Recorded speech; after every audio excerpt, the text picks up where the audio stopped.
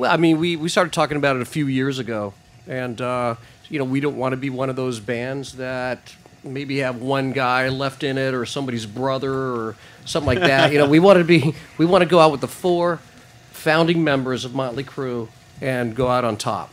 You know, and just and leave a legacy of uh, of of a band called called Motley Crue. Motley Crue announced during a press conference in Los Angeles, California, that all bad things must come to an end and they are calling it quits. Guitarist Mick Mars, drummer Tommy Lee, singer Vince Neil, and bassist Nikki Sixx said that even though the crew will be no more, they still have plenty on the table right up until the end. The band talked about the country tribute album that's in the works. I'm looking forward to it. When I first heard about it, I think it's, uh, I think it's going to be be fun, you know, and I think it's going to be pretty cool to uh, bring Motley Crue maybe into some lives that, where you know, some country people maybe heard the name but have no idea what we're about, and they have some of their favorite country stars playing some of our songs. Uh, it's good for everybody. It's a win-win.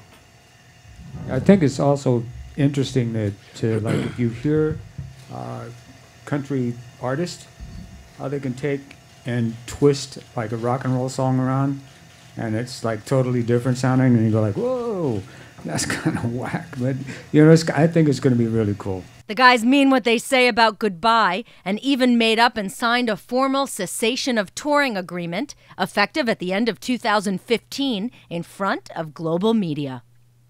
Tommy said it best recently when he said a farewell tour is when a band does a farewell tour and then gets back together and does another farewell tour and then breaks up and gets back together until there's no milk left in the titty and it's a rip off to the fans.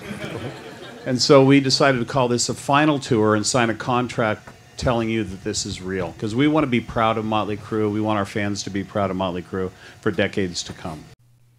We spoke with Mick and Tommy today about the possible causes for the end of Motley Crue as a touring entity. You know, at some point you just you you your your work here is done.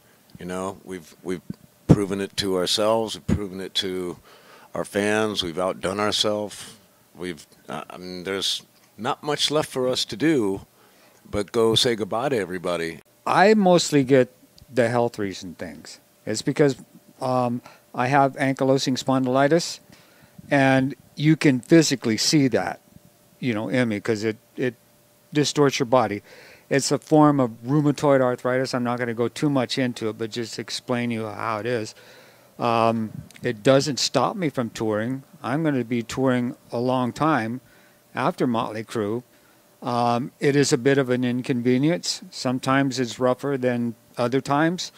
Uh, but my health is perfect. I mean, I go like every six months to get a checkup. And it's like, you know, I, I'm, I'm in really good shape and good health. The only thing is, you can see what I have.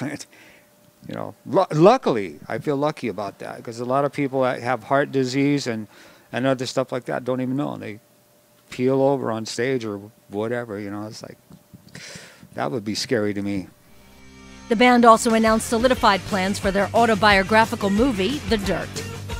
Meanwhile, the final tour will kick off in North America on July 2nd in Grand Rapids, Michigan, and reach 72 markets before hitting international territories in 2015.